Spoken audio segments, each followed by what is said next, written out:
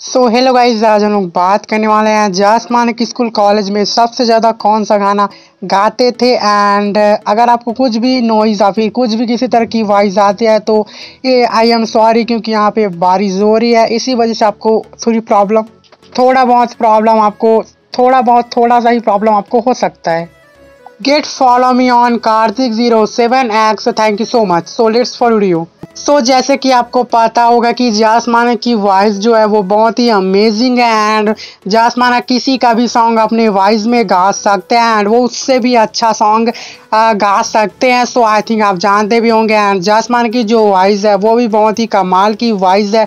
एकदम ही बहुत ही कमाल की वॉइस है। अब बात आती है कि जासमान ने अपने कॉलेज एंड स्कूल टाइम पे सबसे ज़्यादा कौन सा सॉन्ग को गाया था? सो आप भी आपका भी किसी का मन होगा कि आपने स्कूल कॉलेज में कोई ना कोई काम ऐसा होगा जिसको बहुत ही बार किया होगा।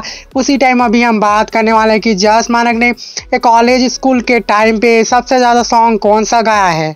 सो so, फर्स्टली हम आपको एक प्रूफ दिखाते हैं जिसका आपको यकीन हो जाए कि मैं सच बोल रहा हूँ। बाकी मैं तो हमेशा हर वीडियो में सच ही बोलता हूँ एंड विथ प्रूफ बोलता हूँ। मैं ज़्यादा मतलब मोस्टली मैं गाना शहरी मान जी का गाया ਨੀ ਤੇਰਾ ਨਾਂ ਮੇਰੇ ਦਿਲ ਦੀ ਸਲੇਟ ਤੇ, ਨੀ ਮੈਂ ਕਰ ਬਣਾਇਆ ਇੱਕ ਰੇਤ ਤੇ। ਸੁਨਾਮੀ ਬਣ ਭੁੱਲ ਜਾਈ ਨਾ। सुनामी बन डुल जाईना।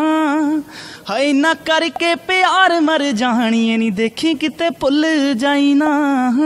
थैंक यू सो जैसा कि आपने देखा कि जासमान ने नहीं बताया, वो सैरीमान का जो पहले वाला सॉन्ग था, भूल जाईना, वो सॉन्ग को ज़्यादातर सुनते थे एंड ये सॉन्ग भी काफ़ी अच्छा है एंड जासमान की वॉइस में तो बहुत ही कदी जहर लग रही है।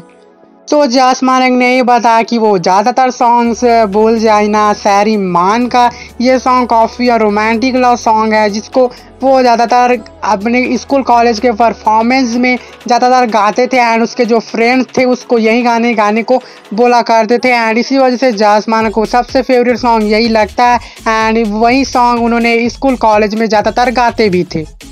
सो so, जैसे कि आप समझ गए होंगे कि जास मानक ने स्कूल कॉलेज के टाइम पे सबसे ज़्यादा सॉन्ग्स बुल जाइना बाई सैरी मान का ज़्यादातर सॉन्ग सुना था एंड गाया भी था।